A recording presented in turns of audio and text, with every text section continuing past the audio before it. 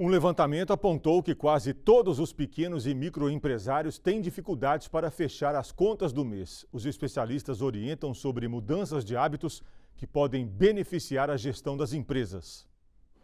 No universo da livre concorrência comercial, sobrevive quem consegue, entre inúmeros fatores, associar vendas com a administração do negócio. Uma matemática que não tem fechado para aproximadamente 98% dos varejistas de pequenos e médios negócios, segundo uma pesquisa da plataforma Compra Agora. Conforme o estudo, as principais dificuldades apontadas pelos empresários são despesas, 18%, gestão financeira, 15%, concorrência 10%, precificação 7% e, por último, expansão e acesso a crédito com 6% cada um. Edna é empreendedora individual há mais de 20 anos no bairro JK3, em Governador Valadares.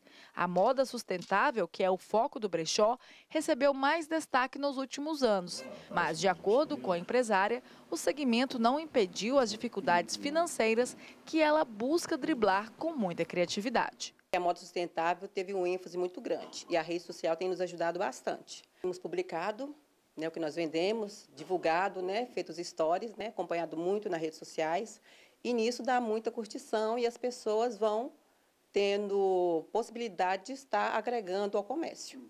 Tanto é que a gente tem feito a feira para ajudar, né? Especialistas apontam que muitas dessas dificuldades podem ser resolvidas com algumas mudanças de hábitos financeiros, com a aplicação de princípios básicos de gestão que são muito simples, mas de extrema importância que podem, inclusive, salvar uma empresa. Os pequenos empresários, às vezes, falta de conhecimento, falta de tempo, não fazem. Coisas básicas. Capital de giro é a questão de ter um dinheiro para pagar a conta da manhã a conta vence amanhã, não tem dinheiro para pagar. Então, isso é um capital de giro que as empresas precisam ter essa noção, que ela recebe no crédito e vai pagar à vista certas coisas. Então, isso é importante. O outro é o fluxo de caixa. Entrou 10 reais, saiu 20. Esse controle tem que ser feito diariamente.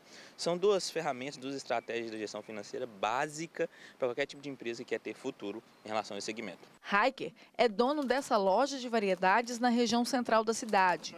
O empresário conta que busca sempre comprar o estoque de forma à vista para se manter o mais competitivo possível e nunca misturar contas pessoais com as da empresa. As empresas geralmente elas te dão um desconto maior nas compras à vista e a gente vem focando nisso, sempre está comprando à vista para conseguir o melhor preço né, para o nosso cliente. Se hoje o caixa sobrou 100 reais, você não pode fazer o compromisso com aqueles 100 reais por coisas pessoais. Você tem que focar no seu negócio, entendeu? Você tem que estar tá com ele ali, tentando comprar cada vez à vista para poder estar tá com o preço mais competitivo no mercado.